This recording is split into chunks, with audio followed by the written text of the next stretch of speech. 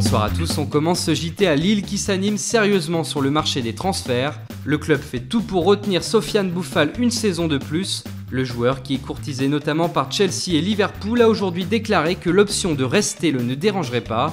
Un départ confirmé, lui, celui de Serou Girassi qui rejoint le club de Cologne. Ce transfert rapporte environ 6 millions d'euros au LOSC et pourrait donc permettre au club d'avancer sur certains dossiers comme ceux de Naïm Sliti, Nicolas Depréville et Sankaré de Guingamp. Ce dernier est d'accord avec Lille, mais les deux clubs ne semblent pas s'entendre sur le montant du transfert.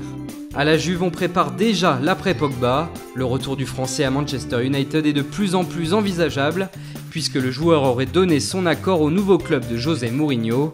Et avec 125 millions d'euros dans la poche, la vieille dame va pouvoir recruter.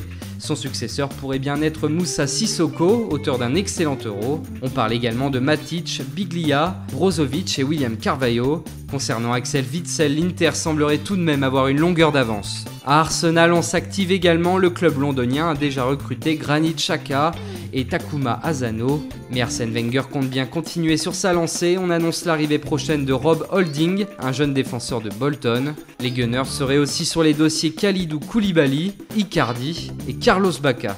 Et c'est officiel, l'international sénégalais Sheikh Mbengue s'est engagé pour 3 ans à Saint-Étienne. En revanche, le jeune Nil Mopé quitte les Verts, mais seulement pour une saison. Il est prêté à Brest sans option d'achat. À Liverpool, on annonce l'arrivée d'un défenseur international estonien, Ragnar Klavan. Voilà, c'est tout pour aujourd'hui. Bonne soirée à tous et rendez-vous demain pour de nouvelles informations sur le mercato.